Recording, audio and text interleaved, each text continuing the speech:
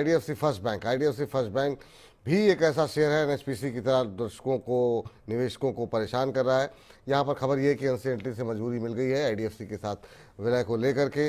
जब से ये मामला सामने आया, उसके बाद से हम देख रहे हैं आईडीएफसी फ़र्स्ट बैंक एक दायरे में फंसा हुआ है। सौ एफ़ डी के शेयर धारकों को आई बैंक के 100 फ़र्स्ट बैंक के 155 शेयर मिलेंगे।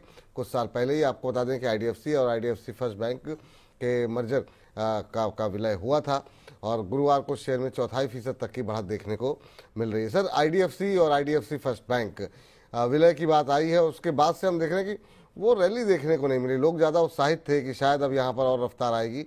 वैसी तेज़ी देखने को नहीं मिली। आप कैसे पढ़ रहे हैं आईडीएफसी फ़र्स्ट बैंक और आईडीएफसी को?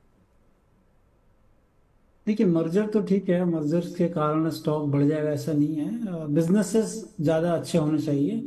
और मार्केट को ग्रोथ बिज़नेस अच्छे हों क्वालिटी ऑफ़ बिज़नेस काफ़ी अच्छा हो, वो बैंकिंग में काफ़ी इंपॉर्टेंट होता है।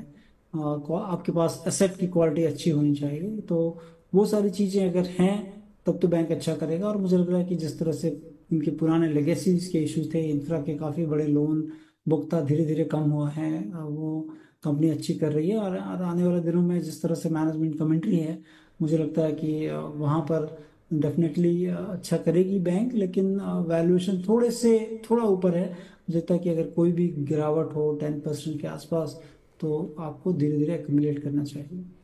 धीरे धीरे एक्यूमुलेट करना चाहिए, सर।